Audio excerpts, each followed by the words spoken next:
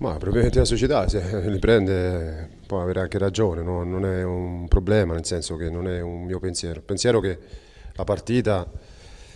per me abbiamo pure, iniziata pure bene, abbiamo preso un gol strano che è sempre nata la palla andare all'incrocio, il secondo gol non si è capito bene, si è persa una palla, uno è andato in porta, però nel primo tempo per me è un risultato un po' bugiardo, poi al secondo tempo siamo, siamo un po' sbragati, siamo, ci siamo allungati, abbiamo lasciato degli spazi che di solito non lasciamo e poi è andata, andata male, però io credo che il primo tempo non è stato fatto così male, puniti più di quello che hanno creato loro, credo. Primo tempo lo spogliatoio ci siamo caricati, abbiamo cercato di rincuorarci perché comunque la squadra ci aveva messo il cuore per recuperarla, abbiamo preso una traversa, abbiamo avuto qualche occasione, perciò la squadra ha reagito. E per me magari un episodio al secondo tempo poteva cambiare l'inizio della partita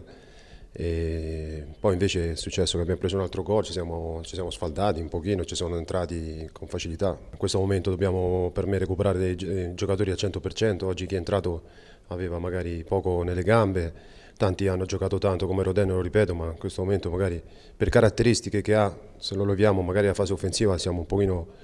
eh, non, non, così buoni e perciò cose di tifosi che, che ci dispiace, che chiediamo scusa per una partita fatta così per il secondo tempo, però c'è gente responsabile, io parlo sempre di giocatori, i giocatori sono gente responsabile che ci tiene a questa squadra.